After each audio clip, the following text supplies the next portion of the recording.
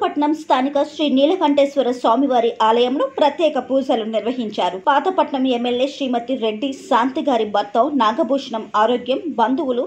వైఎస్ఆర్సీపీ కార్యకర్తలు నీలకంఠేశ్వర స్వామికి లక్ష బిందెల అభిషేకం రుద్రాభిషేకం ప్రత్యేక పూజలు చేశారు